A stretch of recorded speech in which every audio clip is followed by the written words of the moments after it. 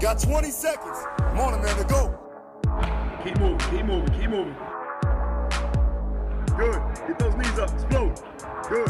Explode. Let's go. Up. Rock forward. Let's go. One more. Go. This is the Fight Strength Podcast, NSFW, presented by Breaking Muscle. Is up, fighting and fitness fans, and welcome back to an all new episode of Breaking Muscle Presents Fight Strength NSFW. I am Jason Burgos, senior editor for MMASucka.com, and back with me is my podcasting amigo, returned to us after a trip to the other side of the planet. He is the strength and conditioning mastermind of some of the best fighters in the world at America Top Team, the one and only Felipe Daru, or better known as Phil Daru. Phil, what is going on? I Missed you, man. What's up? Oh man, it feels good to be back. I'm not gonna lie. Uh, I feel good. I feel good. I feel well rested. In, in Russia, I got to I got to actually sleep in till like nine o'clock because nobody trained before ten o'clock in the morning. So it was really good you know, and I'm well rested, ready to go. Now, today's show will be an entire it will be entirely based around our weekly Ask Daru segment because, you know, while Phil was away, he was just straight up inundated with a bunch of questions from listeners and followers. However, that will be the focus in our second segment. First, I wanted to get into details about what Phil just mentioned in his trip to Russia. I mean, you know, for those you don't know, he was away for a few weeks in Mother Russia doing some work with a, a bunch of great talented fighters at ACB Berkut you know, a, a absolute championship, you know, that that that co- that company, you know, that connected to them. So it is it's it's really quite an achievement to be asked to go to a foreign land and run seminars as a strength coach. But even more crazy and wild and impressive is to be an American and go into the former Soviet Union because you know you're so highly skilled and your your value is that highly regarded. So that's it's, it's pretty damn cool stuff to to get to talk to you about this. Um, so I wanted to take the you know first segment just do this to chat about it uh, little interview style thing. It's been a long time since I interviewed you. Uh, so first off, how did this whole thing come about that you got set up to end up going and working with these guys in Russia? I think it had to do with I, I have a lot of guys that come from that side of the planet, mm-hmm. um, come to American Top Team. So uh, I think they seen a couple of Instagram posts and things like that. We got involved there, and then uh, one of the fighters at my gym is is closely connected with Berkut, so he contacted one of their strength and conditioning coaches who then contacted me through WhatsApp, which is, if you know what WhatsApp is, is like how you communicate with everybody overseas. Mm. And uh, so he he hit me up, and then basically this has been going on for like three months. We've been trying to coordinate times and things like that because I had fighters fighting. You know, jo- Joanna just fought, Dustin was gonna fight, things like that. So I wanted to make sure that I was there for them in camp and not just leaving them for two weeks. So I finally got it all coordinated, and then uh, you know we uh, I I I didn't know exactly what they wanted me to do. I just knew that they wanted me to reinvigorate the program or mm-hmm. just reestablish some basics and uh, and the scheduling with uh, just just overall bringing it back to baseline and, and really figuring out what they need to do from a physical preparation standpoint. No, I mean, the the first other thing I was thinking, along with you know how it came about, what was that travel like? Because I mean, you really are going to the other side. It's not like even just crossing the Atlantic or the Pacific. You know, you're going across all the way across Europe, and like, how did you do it? Did you go across Europe? Did you go to California and around that way? Like, how long? Which way did you do it, and how long did it take to get there? I think if I would have had to go to California, I'd have had to shoot myself, man. That was that too long. No, I, what happened was I, I flew to New York and then from New York went to Moscow. From Moscow, we flew in like a 10 seater jet plane to Chechnya, which is where I was, where where Berkut is, is in Grozny. It's a small town, um, but a but a pretty up and coming town. I'm not gonna lie, it uh, had a little bit of city vibe to it, and then you have little sub towns on the outskirts or villages. That's where Berkut, uh, the Fight Club was, and then they have another Berkut MMA. It's kind of like for general public mm. in the city itself. And then I did another small seminar at a local like power powerlifting bodybuilding gym there in Grozny as well. Just uh, working on like uh, my glute hip activation techniques, proper IAP intra abdominal pressurization stuff that we got from Kabuki and DNS and things like that. So I was just kind of going over that, and then I did like a small uh, clinic on squatting and and uh, bench pressing, and then we just did like a little workout. People were it was people were really accepting, man. Really, really. Um, they were I don't want to say honored that I was there, but it, I felt that way. I felt very humbled that they were so accepting of me and wanted me there and were taking pictures with me and just you know being so you know non what we thought of of like Russia. You know what I mean? Yeah. Um, and and especially in Chechnya, um, people are very peaceful. You know, obviously they had their differences. You know, a couple of years back, and they went to war and things like that. But they're really on the come up now. And even the president actually actually uh, mentioned me in one of his speeches. Really? Um, didn't didn't mention me by name or anything Wow. like like that. But he did. He yeah he did say something about. Well, he, he pretty much might as well have. He he said something about an American sportsman coach coming over to Ah, okay. to our to our local warriors and helping them out. So they're they're they're on the come up, man. I I, I really love that area, and we'll be going back there every three months. So I'll be going there. I'll be a, a, a familiar face for those guys. How long was the actual flight? Like from New York to to Moscow? I think all together it was like 20 hours. Holy Moses! Wow.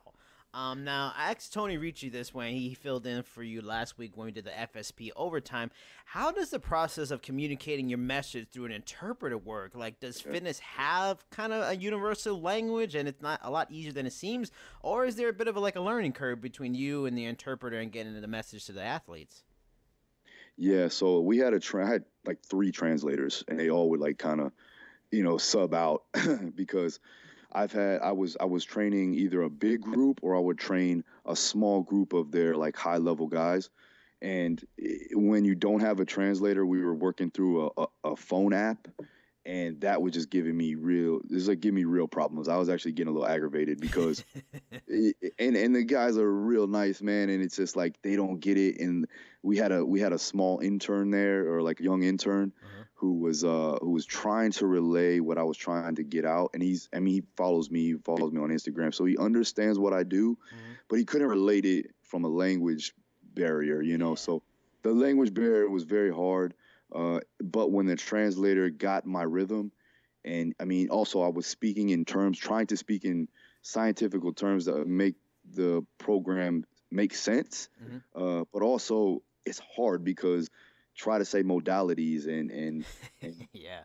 periodization Yeah. in another language, and they kind of don't even know it fully, Mm. you know, English like that. So it was tough to kind of. I had to really dumb it down. I don't want to say dumb it down, but it had to be Yeah. baseline, you know. But uh, at the same time, we got we got the message through, uh, and now the guys, man. And, and I'm gonna say one thing about these guys too is that they're cons- completely focused, and they took to my programming, you know, 100%. They didn't they didn't second guess it. They didn't look at me weird.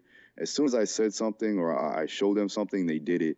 And the great thing about this was, I actually walked into a uh, training.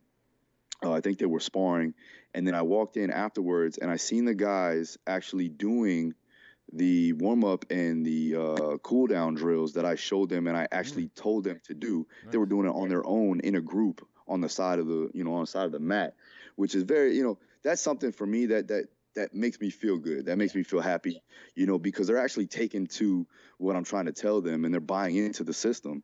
And uh, you know, some I don't even get guys sometimes like that at American Top Team doing doing that. You know what I'm saying? So Far less I- sass from the Russians than the Americans.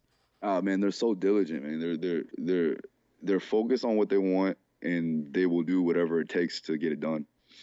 Now, um, what would you say at- the skill level of these fighters in this? I mean, this they're connected with a major promotion out there in Russia, uh, one of the, if not the biggest. I mean, is it like a sort of a, a, Russian uh, American top team? Like, are there some really talented fighters out there? You kind of maybe are uh, scouting a little bit for future work, maybe.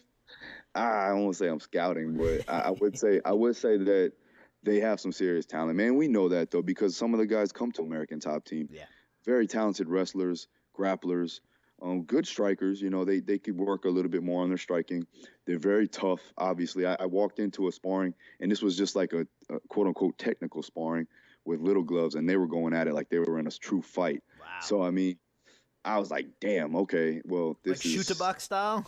Yeah, pretty much, man. It, it was it was just like that, man. And you know what's funny was that the I didn't I on my Instagram I kind of spanned the location and and seen the compound, but you really couldn't see the whole thing. It looked kind of like a gladiator like training ground. You know, have you ever seen like the the the uh the Stars episode on on Gladiator? You know the Gladiator movie, uh, the show Gladiator, right? The show Gladiator. No, I know the movie, but I don't know the show. Well, well, even even the movie, like Yeah. you, you've seen the battle, like the uh, practice, the yeah, practice yeah, battle. yeah. hmm They had that basically in the back of the gym. I was like, this shit is crazy. And then and then like yeah, man. And then you know obviously everybody is well taken care of. There's dorms up there. You know, um, nobody eats. Uh, everybody eats for free. You know, there's a there's a five star restaurant in there with the five star hotel. Hmm. You know, and I stayed in there for free, and it was just it was awesome. It was a good experience. You know, but these guys are fully taken care of. They are 100% dedicated to what they need to do, and they're talented. I mean, there's a couple guys that could fight in the UFC right now um, that I know that could fight in the UFC and be very, you know, uh, be in at least the top 10. Would you say so? Less, maybe less like an ATT, and maybe even it might be more like uh, the UFC training center, since it's directly connected with this promotion. So uh, similar to that. Yeah. maybe a, that training center is kind of copying off of what ACB Bur- Berkut's doing. I don't know if they copied off them, but I, I, I did get a uh, a good sense of the same implications of what they're doing is what they're doing is what UFC and Performance Institute is doing because it, it I mean it is all the guys that are training there are in ACB. So I mean there's nobody there that's in the UFC or in Bellator or anything like that. Everybody's in ACB and even the young guys are in ACB, you know, or they're in a, uh sub level ACBs like a like an amateur division. Mhm. So I mean, and they got young kids in there too. They got they had little kids in there, Wow. uh, like eight, nine, going at it, fucking sparring. I was like, damn, okay, you know. And then Gangsta. yeah, yeah, it was cool, man. And then like I had to I had to also learn the language, and you know I, I've learned a couple words here and there to get me by, and then mm-hmm.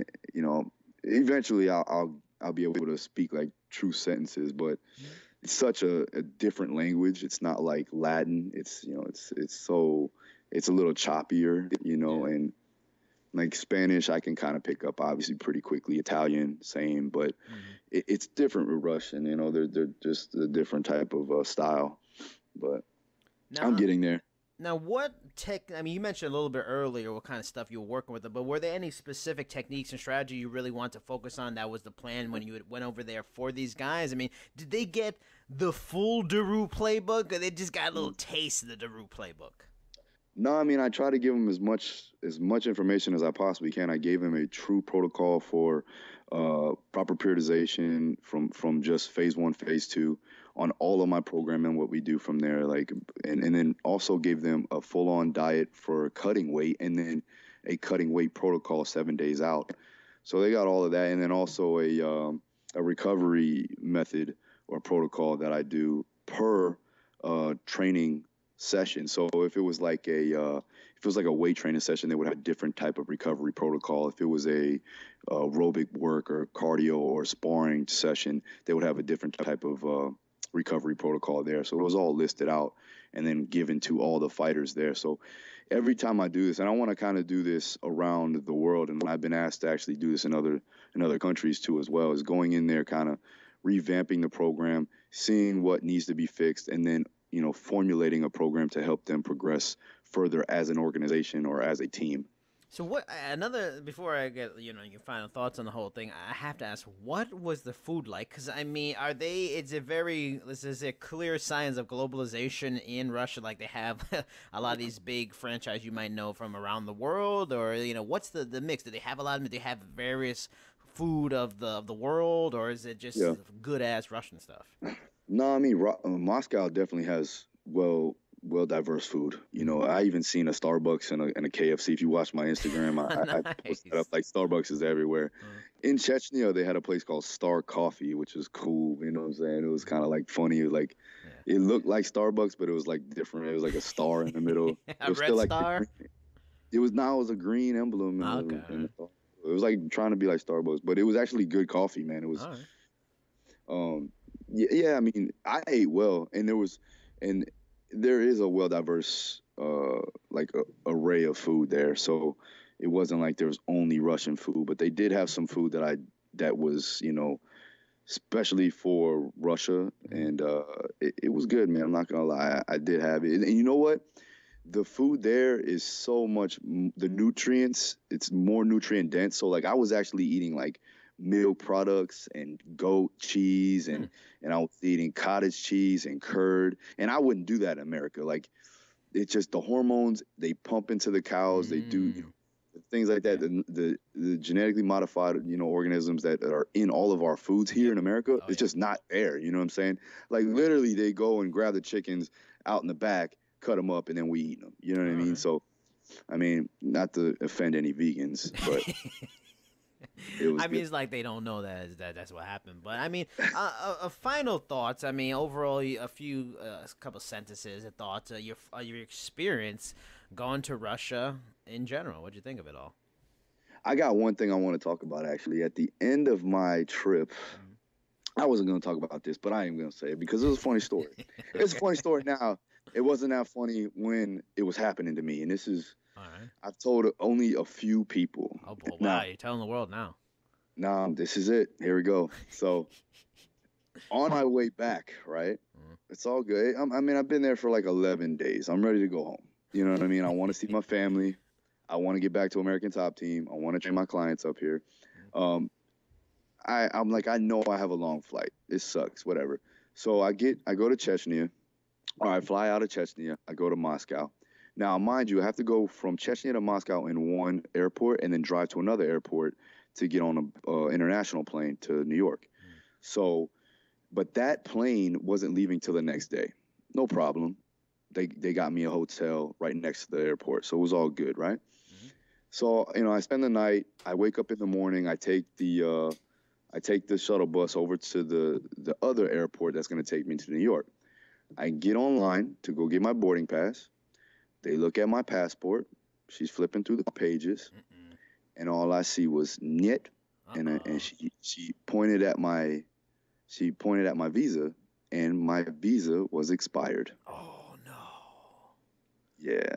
So what happened was I had a had to get a rush visa when I when I started to uh with this whole process, right? Yeah. Because I didn't I didn't really know I had to have a visa to go to Russia, Okay. to be honest. Yeah, yeah. So um I had a, I, I put down for a 30 day visa and what happened was it wasn't going to get to me in time from my first flight that was booked, so I had to uh, change my flight over to about a couple days later. So when I put down my visa, it was the day, it was like the 11th. Now, mind you, I wasn't leaving till like the 16th now because I was supposed to leave on the 13th, but I wasn't going to fly out because I wasn't going to make the flight because I wasn't going to get my my my uh, passport back in time. So what happened was they when I put the 11th, they put right from the 11th to 16 days. I only got a 2 week visa, man. Ooh. So, which made kind of sense because I'm going there for 2 weeks, right? Yeah, yeah, yeah. But I was supposed to be going there from 2 weeks from the 13th. Exactly. So, now I'm leaving on the 16th. I didn't even think to check the, I didn't even think to check the expiration, right? Why would I think to check that? Because I thought I had a 30 day visa, Uh-huh. right? So either way, I get there, and then when she tells me that, my heart just dropped. So Ah. at that point, I'm like, oh shit, I'm not I'm not leaving here for another month. There's no way, right? So this whole time, I'm like, what do I have to do? Now, mind you, nobody speaks any English. Uh, And I speak about maybe four to five words. Six if we're lucky. You know what I'm saying? And then I'm in the translation in, in, in my iPhone trying to figure it out. On top of that, I have no cell phone service in this airport. Ugh. on top of that, nobody's up from my handlers, like all my handlers and all my like my translator. Nobody's up. It's seven in the morning. Remember, they don't get up till like ten in the morning over there, so nobody's up. Oh, My wife is clear across the Pacific, the Atlantic Ocean. yeah. It's like two in the morning over here, right? So can't even call her for like any type of validation or help, right? Mhm. So now I'm by myself in a Moscow airport, knowing nothing, possibly not gonna make it home, right? Mhm. My flight is at 10 o'clock. It is now 8 o'clock. Ugh. I had to rush over. She wrote on a piece of paper, go to go to another terminal, which was like a fucking lifetime away. now I have all my bags. I'm running through the Moscow airport trying to find a way to get my get my visa back in order, right? Mhm. I finally find a way to a help desk. They tell me to go talk to the console. The console, basically, you go to a phone that's in the middle of the wall. It's a black phone, and you just pick it up. It's like there's no dial. You just pick it up, and he answers it. So I picked it up. They start speaking Russian. I said, English, English. He's like, yes, me help you. How can I help you? I said, I need to get on a plane. I need to get. I'm a U.S. citizen. I need to get back to America. Uh, so basically, I had to call the U.S. embassy. Oh man. I had to call the U.S. embassy. I had to uh, email my my visa and my passport in you know in a picture form over to them. They had to then go to the ambassador and actually write a letter to him, and he had to he had to approve me going back to the United States. Wow. This was all supposed to be done hopefully in two hours. This did not happen. Yeah. Right. So I missed my flight. I missed my flight. I was supposed to be home Wednesday. I got home Thursday. Damn. Now, mind you, she said it would take up to three hours, right? Mhm. I'm sitting in this airport for five hours now. Ugh. I missed another flight. So now I don't. I'm I'm at my wits end. I don't even think I'm making it home. I think it's a wrap. So now I'm stressed out. I'm pretty much pissed at myself, and I, and I just want to go home. It was snowing out. I'm like, it's cold as shit. I haven't seen the sun in about 10, like literally haven't seen the sun in like 10, 11 days. You know what I'm saying? Um, and so I called them back at around 5 p.m. over there, and they were like, "Yes, you've been approved." I was like, "Okay, what the hell do I have to do now?" So like, I ran around, I had to get a new ticket, cost me like 700 bucks, and and then finally, finally got on the damn plane. I'm giving you the rough draft version, but this was what it sounds like. Wow. Just- oh, just picture me- Just picture me sitting in a Moscow airport the whole damn day, not knowing if you're gonna go home or not. I mean, lesson learned. So I, I can only imagine on that next trip to Russia, you will be checking that visa date every day, making sure it's correct. Listen, I'm I'm getting I'm trying to get a year visa. Uh, I, I mean, now before we get into our Ask the Daru segment questions, I just want to remind you, new listeners out there who may be listening on Breaking Muscle for the first time or wherever you are listening, uh, you can check out all of our previous episodes with other experts in the field of strength and conditioning, like Dr. Corey Peacock, Zach Even-Esh, Tony Ricci, PJ Nestler, Jake Bonacci, or Dan Garner. Then find our pages on iTunes, iHeartRadio, SoundCloud, Google Play Music, Player FM, and on YouTube, and hopefully maybe soon Spotify. We'll try to get that done soon too. Uh, so let's get into these questions. You know, let's drop some knowledge bombs on the listeners and, and these people that want some answers from Phil Daru. Now, our first question is from is from Kevin X Cologne on Instagram. He asks. I read your article about building the base for fighters, but the only part I was confused about was your program hypertrophy for a weight class athlete. I agree with everything I've seen you do. I just want to know what you meant by hypertrophy uh, in the sense of weight class athletes. Uh, before you answer the question, can you just uh, let it let the people know what that article is and where they can find it too? Yeah, you can find it on DaruStrong.com. Uh, it's in my uh, training blog section. But basically, I was just talking about how I build a base from an out of camp perspective and how we build hypertrophy, joint integrity, things like that to help them get ready for for camp and uh, you know just going in ready to go with a good work capacity and uh, not not having having to get in shape and already be in shape once they start camp.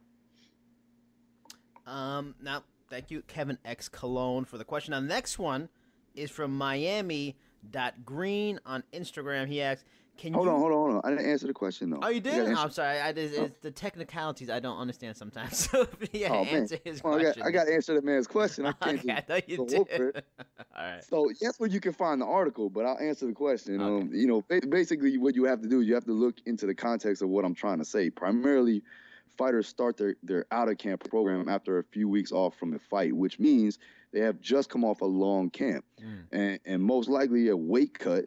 So that's gonna, you know, deter their weight and then also just bring down the metabolism in general. So what this means for a fighter is that they are somewhat detrained and, and most of the time in a catabolic state. just like a football player or something like that coming off a long season, they're not going to be as big and they're not going to be as strong as when they started the in season. Mm-hmm. Now, what I'm trying to accomplish in the rebuilding process while initiating a greater work capacity with joint integrity, um, think think of uh, think of it as building like armor, right? Most of the, most of the time, uh, it's very hard to build muscle, especially with the amount of cardio-based training these fighters perform with their skill-specific training so I can attest basically that it'll be very hard to build massive amounts of muscle in a six to 12 week span.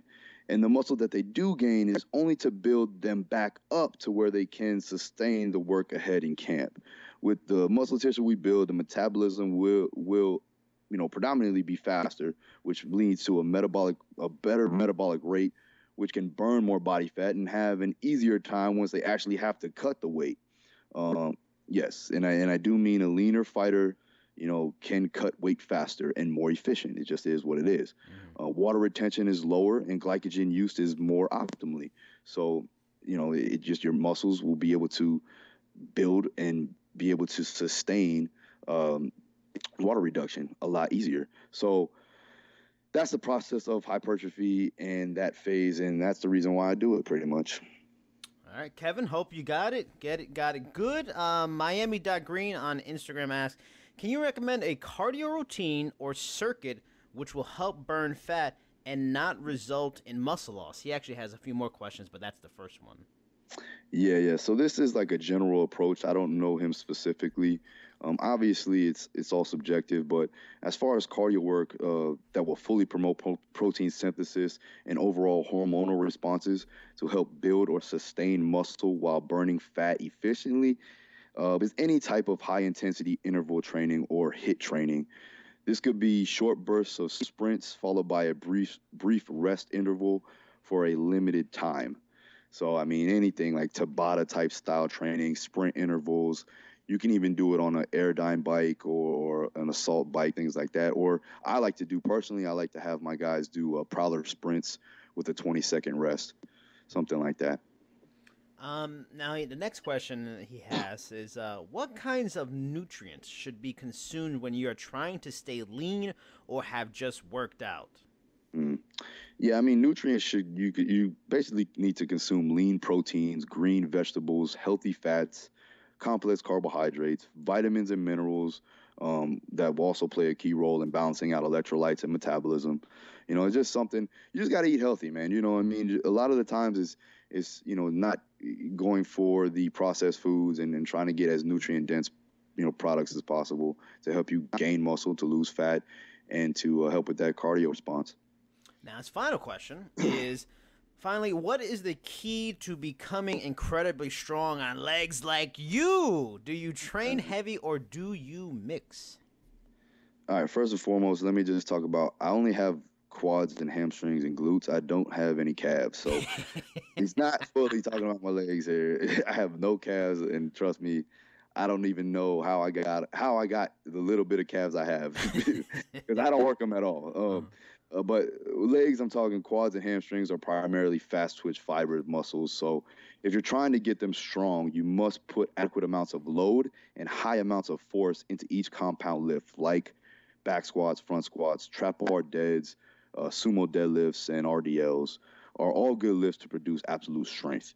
Now, now keep volume slightly lower and intensity high, keep in a range of like 75 to 90% of your one rep max and your volume needs to be fairly low. It needs to be five or less reps um, to you know to initiate more of a strength response. Um, if you're looking to build hypertrophy or muscle in size, a rep range of uh, of three to six will still build some muscle. Uh, just make sure you are performing more sets to get that overall workload. So, if you're trying to build a little bit more more size on your legs, now mind you, and this is with strength. This is not just size. If you were trying to build just size, you would be doing more of a hypertrophy range, which would be six to 12 reps. But for this, we're trying to build maximum strength and a little bit of uh, muscle gain. So you would do, like I said, three to six reps, but then you would do a, a around eight to 10 sets. Mm-hmm. So you're still getting more workload and you're still getting quote unquote the volume, just not in a in a repetitious factor. Um, yeah, and that's it. All right, thank you, Miami Dot Green, for the questions. Uh, also, just a reminder to anybody, for everybody listening, if you have questions of your own for Phil, we always do our Ask the Daru weekly segment, so you can always contact Phil on Instagram. You can contact us on our Faith, uh, Fight Strength uh, Facebook page, at Twitter at Fight Strength underscore, or you can email us at Fight Strength uh, Podcast at Gmail. Uh, now, moving on to the next question. Next question is from Hart Gill. He asks, What's up, coach? Huge fan of your work. Thank you for all the free knowledge bombs you drop. I have a question when it comes to ESD for Muay Thai. How would you set up the conditioning for it? Is it necessary to do lactic work? Mm-hmm. Yeah, so in Muay Thai, the training and competitions are primarily aerobic base. So building up a solid aerobic base through LSD work would be a good idea, like long, slow, low di- or long, slow distance um, type work, just like you know sustained, uh, same amount of uh, intensity throughout a long duration. So just road work, pretty much, just like the old boxers used to do, um, and just kind of building up that VO2s. Now, you can throw in some days of lactic and anaerobic work, but your primary focus should be on VO2 max and heart rate control. I would say, as a general based program, perform about three to four days of aerobic conditioning one day of anaerobic and one day of lactic, hmm. which uh, can help in all aspects of Muay Thai fighting. What is, is lactic uh, exercise or lactic work? What makes that different lactic, than anaerobic and stuff? Well, lactic glycolytic is kind of just like those circuit training, basically trying to get that lactic threshold, build that lactic threshold to where you can sustain a good amount of strength mm. and uh, and endurance throughout, yeah. you know, a longer duration. So anaerobic is more like lung capacity, uh, you know, the breathing techniques, and lactic is more muscle endurance. No, aerobic really is, is means with oxygen, and anaerobic means without oxygen. So, mm. anaerobic conditioning would be short sprint intervals. Okay. Uh, with the, with an adequate amount of rest, and then aerobic would be a sustained amount of uh, aerobic work throughout a, a longer duration. All right, thank you, Hart Gill, for your question. Now, uh, this is Alexander underscore Kisler, also on Instagram. Uh, which screening and assessment method do you use for fighters? Yes, so my, my screening method is a mix of FMS, DNS, and my own sport specific movements that will correlate into developing a plan for fighters' progress. Um, also, uh, also you you basically must must you know assess your fighters and or athletes on a daily basis. This is not something that you do just once. This is an everyday process. And if you're not doing this, then you're not actually adequately helping your your fighter or your athlete progress. And you're you're you're gonna probably come to a point where they might sustain an injury because you're not paying attention. So this does help with prevention of injury and sport performance. What I mean by FMS is uh, functional movement screen and dynamic neuromuscular stabilization techniques. Okay. No, I mean, just also just like standard things like watching them, watching them, watching them roll and watching them spar, things like that, to see where deviations are, um, maybe in their foot, maybe in their feet, as if they like if they supinate a lot or if they have like weak feet, uh, weak ankles, weak hips, weak knees, how they turn and twist and work in the transverse plane and things like that. That can kind of tell me where they're weak at and uh, where their imbalances lie, so I can actually fix that from a program perspective. Now, he also has a, a, couple more questions. The second question is uh, What are your top three methods to improve punch power and speed?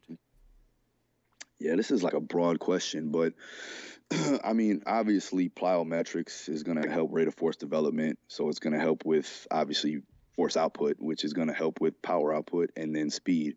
Um, there's a general focus between if you don't have speed and strength, you're not going to have power. So you can develop that type of uh, if you can develop that type of uh, um, response, then it'll help.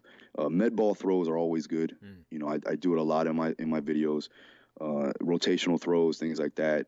Anything that's going to help with velocity and putting force through a external load.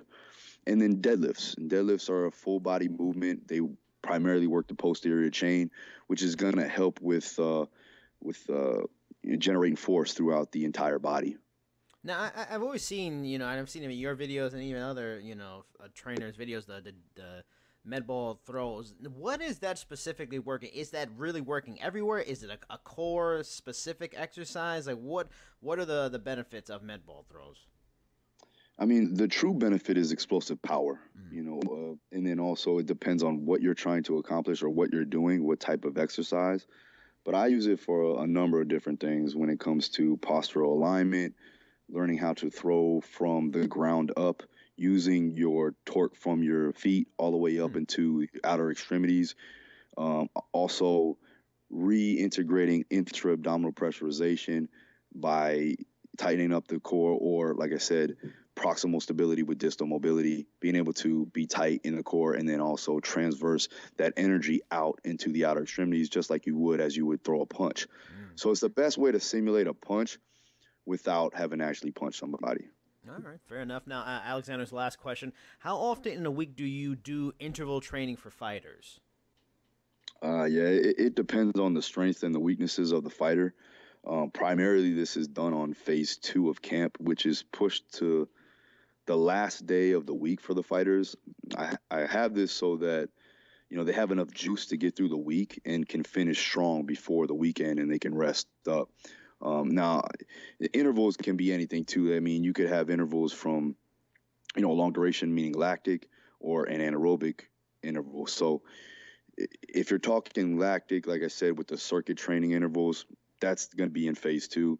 Um, the end of phase one goes into it kind of potentiates into a uh, anaerobic phase. So you'll be doing sprint intervals to get that good anaerobic capacity. Now, I've done I've done I've done articles in the past, and I've you know stated in some blog posts that you know anaerobic conditioning they found that actually helps with the increase of aerobic capacity.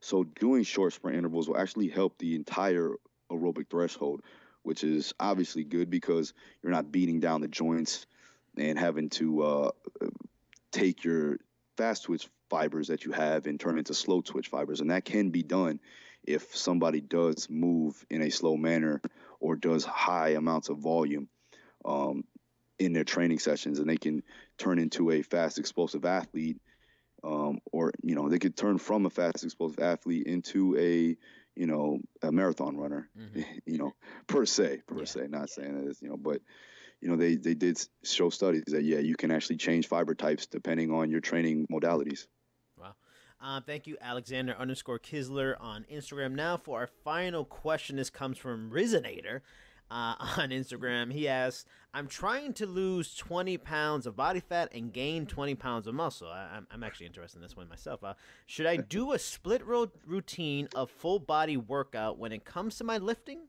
And how often should I do cardio?" yeah man this is a this is pretty far-fetched Um, So, i I mean, this is pretty hard to do, putting into account human physiology and, thermo, and thermogenics. Mm-hmm. In order to build muscle, primarily you have to be in a calorie surplus, and in order to lose weight, you must be in a calorie deficit. So the two kind of run into each other. Mm-hmm. Now, if you're a novice to lifting and, and eating healthy, this rule really doesn't apply somewhat to you because it's such a new stimulus for your body you're going to try they're going to it's going to try to adapt Mm. so you may actually build some muscle and lose some body fat if you're just beginning you know your fitness goals and things Yeah, like that which I i've seen Yeah. I've I've seen it happen. I've had clients that that's you know that's done that, but I also have clients that that gain weight in the beginning and they're like, oh my god, I'm gaining weight, but in all actuality, you're actually gaining muscle tissue and then you're building your metabolic rate, which will in turn, you know, burn the body fat. But you just got to give it time, you know. Um, but from a training perspective, you know, I would think that this is going to be somewhat of a of a constant struggle for somebody that's been training for Right. three to five years, you know, something like that. Yeah, because I mean, I think about it myself. Like when I lost all my weight, I did like lose fat and gain muscle, but I was like a, a you know a really heavy person. So I mean, yeah, I, I can't imagine a, a high level athlete is. I mean, I can I can't even imagine it's even for high level athletes or athletes in general easy to lose twenty pounds anyway, and Mm. you know how, how how they would do it. So yeah. So this works in summation. Works for someone just starting working out, but for someone that's already an athlete, wh- I mean, is it possible to maybe five and five if you're you know already an athlete and trying to do something? Maybe you lose five pounds fat, five pounds muscle. Like you know, is that is that possible? Yeah, uh, that can be possible. Uh, It just it just really depends on their diet, the way they train, the way they recover, and then also their rehydration process. But I mean, to be honest, if you're if you're more of a higher level guy or you know you're you're advanced in your programming, like you want to actually have a season or like a span amount of time to where you're actually building some body fat because it's going to help you get stronger. It's going to help you build more hypertrophy. And then in time, you can bring that, you can bring those calories down. And from the muscle that you've gained, you can then cut away the fat and you'll actually be bigger than where you were. Um, it will be, what I'm saying is you'll be bigger from a muscular standpoint. You may be five pounds heavier, but you're 5% less in body fat. Mm, See what I'm saying? Um, no, that's our last question. Thank you, Resonator, for your question. I mean, before we go, I know you wanted to bring it up, but real quick, uh, thoughts on uh, a possible Dustin Poirier title shot? Like, what, what are you feeling about that? So let me go ahead and pull this text message up. So Dustin, so Dustin texted me today. he goes, "I'm going to beat Eddie, then I'm going to win the belt." Is that Simply- is that happening? Is that like a, a plan in the in the works for a rematch, or he's still hoping for that? I mean, we, we are still hoping, but I think that that's got to be something that they got to they have to give him. You know what I mean? I think it's so. I mean, they're both kind of like right there, especially Dustin. He, he's been great since he's been at 155. yeah, man. I, in that in that that fight with Pettis, I think that kind of solidified us Oh yeah. As you know being a, a top contender. hmm You know, and now with Eddie, we basically beat Eddie. You know what I'm saying? I, I, I'm not gonna I'm not gonna say that. Oh, you know, it's my fighter. He's my boy. I can honestly say that we could have finished Eddie if we needed to, but we need to be a little bit more calculated in our approach. Yeah. Now we're a little bit more we're a little bit more keen to the situation. We know what we need to do, and I feel Dustin will put him away in a second. Now, if we get that rematch, we don't know if we will. Hopefully, we will. Once that happens, then we get the title shot, either Ferguson or Conor if he steps back in. So, I mean, it's crazy. It's a completely fluid situation going on right now because Conor is in flux, and, and like I said here, mo- like two months ago, I don't see why he would want to come back. And based off of Dana White's recent comments, there is no real reason for him to come back, and he doesn't have much interest, um, unless he owes the Irish mob money. That's a possibility too. Um, but I mean, he's not coming back. You got the Ferguson thing. It's weird. I think it's going to be interesting because it's it almost feels like Khabib versus Barboza is an eliminator, but you do have Dustin, who is really right there. If he were to fight uh, uh, Alvarez, a former champion, and beat him, that says a lot. You know, eh, where's Ferguson fight next? Kevin Lee got a title shot when I don't think he really should have got it. He talked his way into it. So I almost feel like at this point, Dustin, who's super nice, really nice guy, charitable, he may need to go to that Colby Covington school of trash talk, get that name up a little bit more so he can kind of skip somebody. Thoughts on Colby maybe mentoring Dustin into shit talk? a little bit? I don't think that's gonna happen. No? no. but what are your thoughts about maybe he needs to start talking more trash to kind of get that talk mm-hmm. himself into a fight because unfortunately you know for, for for a lot of fighters that's the, the way you get title shots these days you have to talk your way into it merit is not what it once was Unfortunately, yeah, that may be true, but also Dustin is an exciting fighter, though. Wha- oh yeah for, So- without a doubt So it's not really. I- mean, if you're not an exciting fighter, then yeah, maybe you do have to talk like that. But he he truly lets his actions speak louder than his words. So I don't see it being an issue. I think that it'll be a great fight for the fans. What I see on Twitter, everybody's wanting that fight. So Mhm. hopefully they're paying attention to it. I even I even uh, tagged Sean Shelby in it when I when I retweeted what I what I talked about. You know, as far as getting a rematch and then getting a title shot. You know, I just I simply state Sean Shelby let us eat. You know, so Yes, hopefully uh, he'll let us. So I mean, eh, eh, honestly, I, I do hope we get it. Um, he's already ready. I mean, listen, Dustin's right now. He's he's doing my out of camp program, Mhm. and he's ready to go. He's like he's already feeling like he's ready to go for camp. So, you know, we stay ready. That's that's the main thing. Is that there's no there's not a time in his in in this year in his years of training that he's not ready to fight on short notice. You know, but you give us eight weeks and it's a wrap. Yep. I mean, and, let's also, since we're talking about former Fight Strength podcast guests and title shots, I mean, can we not get a title shot for Tecia Torres? I mean, other than Joanna, Joanna, another former guest, Joanna, you know, just take a vacation, hang out, maybe do some damage at 125. Let, you know, Tecia Torres, let it, let it, let it get that, that taste of a title shot. You know, you're the best. You don't need the, the rematch right away. Tecia Torres, I think more than anybody, deserves a title shot after w- her win against Michelle Waterson last night. The girls only lost once. Close fight to the champion, I believe. I mean, let her get that title shot. It sells itself. Fascinating fight. How about that? Yeah, of course. I mean, Tecia is obviously somebody that I'm close to, but and then I, I honestly, like I told you before off off off the air, but you know, I think that uh I think they're not going to give Joanna a, a shot, and I think that they will give Tecia the shot because of the fact that you know Joanna got finished in the first, whereas yeah, there may have been some issues there, and that may not have been hundred percent Joanna, but at the same time. Mm-hmm. Yeah, we we know, but and and you know I'm not making excuses at all for her, you know, and, and she she doesn't need it from me, you know. Mhm. But the thing is, is that nine times out of ten, Joanna will beat Rose, Mhm. just simply as that, you know. So I think that uh, I don't think that there's anything to really truly prove.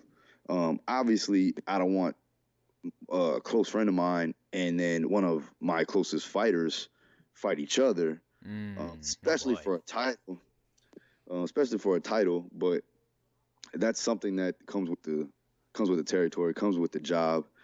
Uh, we'll we'll you know go down that path when we get there. But I uh, do want yeah. that to happen just to see the torture you would have to go through. It'd be fascinating I to watch. bet you fucking would. I bet you would.